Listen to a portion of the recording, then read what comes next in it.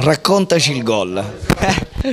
Eh, niente, un rimballo, mi è arrivata la palla sui piedi, ho visto un bel portiere fuori, ho provato il pallonetto, è riuscito, è bene così. Seguendo la partita, insomma, abbiamo notato che tu hai alzato lo sguardo prima di calciare. Sì, ho visto, era l'unica cosa che mi è venuta in mente, l'ho fatto subito, senza pensarci. Ecco, dopo l'infortunio finalmente si è visto il eh, vero Barlafante. Sì, sì, diciamo, sono stato fermo tre mesi, non filati, però sono male, quindi mo spero di ricominciare il meglio possibile.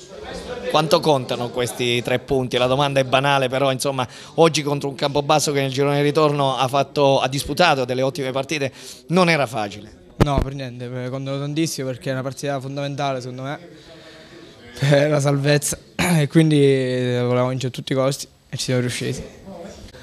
Federico Del Grosso, nonostante gli attacchi in campo quasi fino alla fine, una vittoria importante, un Giulianova che ha saputo lottare, eh, mettere in difficoltà anche un Campobasso che ha disputato un grande girone di ritorno, però il- i punti pesavano per il Giulianova oggi. Ma io credo che oggi abbiamo fatto una, una partita molto, molto attenta, molto preparata secondo me nel, nel migliore dei modi, soprattutto nell'approccio. Siamo stati molto aggressivi perché sapevamo che il Campobasso è una squadra molto tecnica, soprattutto nella fase centrale del gioco, quindi abbiamo, li abbiamo aggrediti e credo che abbiamo dimostrato di, insomma, di meritarla pienamente questa vittoria. Oggi è il tuo 36esimo compleanno, tu e Cristiano festeggiate 36 anni, cioè un, compleanno migliore di così, insomma, non ci poteva essere.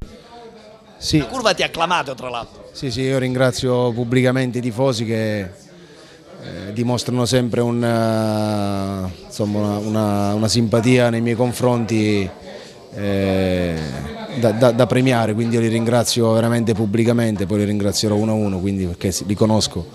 Eh, sì, mh, ci volevo essere perché eh, credevo fortemente a, a una prestazione maiuscola del- della squadra, quindi volevo esserci anche se abbiamo diciamo, avuto paura di rischiare perché c'era un attimino c'era un bel rischio, però ecco, è andata bene, quindi sono contento.